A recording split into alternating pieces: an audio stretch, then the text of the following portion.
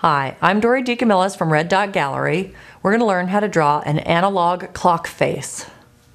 Okay, I started by making circles. You can make that with a compass or outline or do it freehand depending on how perfect you want to be. Then before I do the numbers, I want to go ahead and draw where the numbers are going to be so that they don't get all crooked.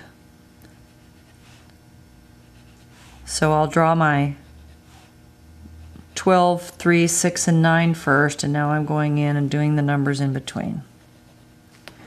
From there, I'll go ahead and write my numbers. I don't want to do anything heavy yet, just a light line first, because odds are something is going to be a little off, and I can erase it and come back and fix it.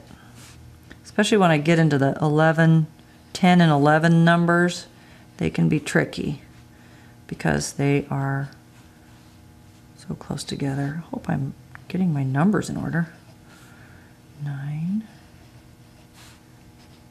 The 10 and the 11 can be a little tighter there. Now, I think I like how they are, so I'll go in and put a little more definition to my numbers.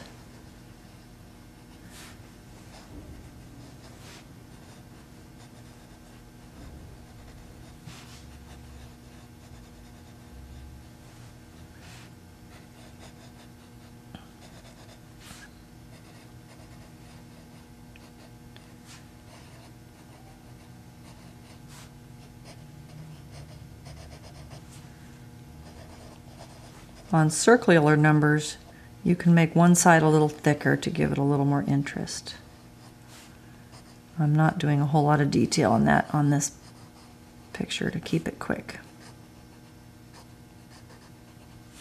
Now in the center, I'll draw my center and I'll draw my hands. Make sure your shorthand and longhand are distinguishable so it's easy to tell what time it is. I'll draw a little second hand. And I'm going to go ahead and outline my clock frame a little darker.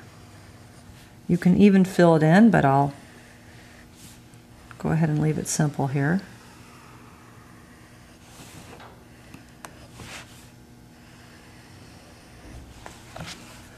And now that it's done, I think I want to darken my hands just a little bit more, give them a little bit of flair from there.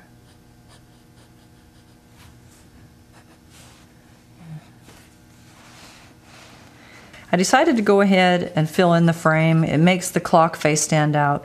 When you surround an image by a dark frame, it makes what's inside pop out. So I think it looks a little better this way.